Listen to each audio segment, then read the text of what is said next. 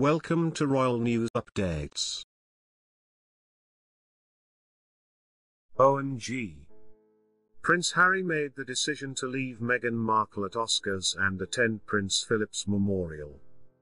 Before we start, please, like this video, subscribe to my channel and click the bell icon, thanks. Prince Harry is facing outrage if he attends the Oscars with Meghan Markle after announcing he will not be attending Prince Philip's memorial.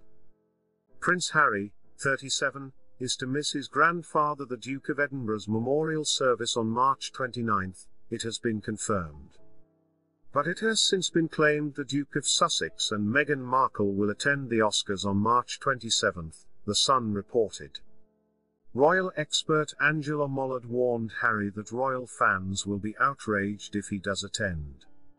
Speaking to Australian morning show Sunrise, Ms. Mollard said, There's a lot of talk it's going to go ahead, but can you really turn up and stand on the stage at the Oscars and not turn up for your grandfather's memorial? I've got a problem with that. You do all the glory and handshaking with the celebrities but your own family, Presenter Kylie Gillies interjected, What's he thinking? Why wouldn't be there for your grandfather's memorial? Leave Meghan at the Oscars. Ms. Mollard added if Harry does attend the Oscars, there will be outrage. It comes as royal commentator Matt de Groot has since claimed Harry's security demands, which could be the reason for not returning, have been from bad advice. He said, You look at a bloke who is out of touch with reality, it's that bloke right there. They spend one half of their life talking about being determined to be private and being determined to stay away from the public eye.